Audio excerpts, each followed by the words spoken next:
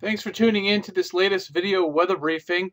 The calendar shows May, but another storm system so late in the season is expected to affect Southern California with more precipitation and wind. We look for this precipitation and wind to occur late this week, especially for May 14th and 15th.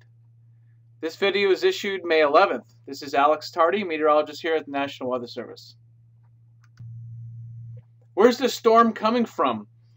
Well, the first storm is moving across Northern California early this week. This will keep a deep marine layer over the region.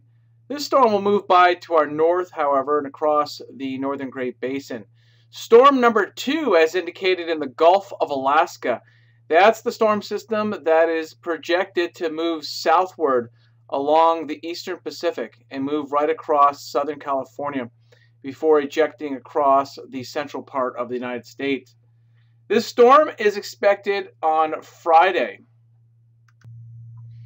Here's what it looks like on a weather map. The jet stream will dive southward, even further south than our most recent storm.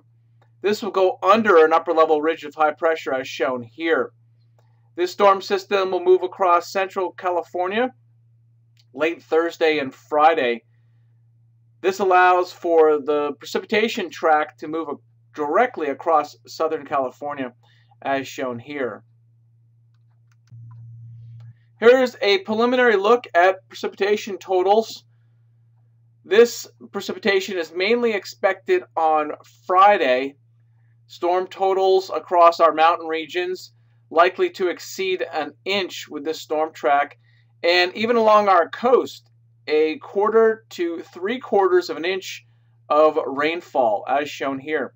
So the green areas have the best chance of precipitation. Again, this is mainly for late Thursday through Friday. The wind we're expecting will be across our mountain passes and desert slopes as shown here. The areas in the orange and red, that's where we expect wind gusts to be the strongest, exceeding 40 miles per hour. Here's a summary of what we expect. A deep marine layer across Southern California. That'll bring periods of coastal drizzle through Thursday. We expect increasing winds Wednesday night and Thursday for the mountain passes and desert slopes as the storm system approaches. Rainfall is expected to be significant.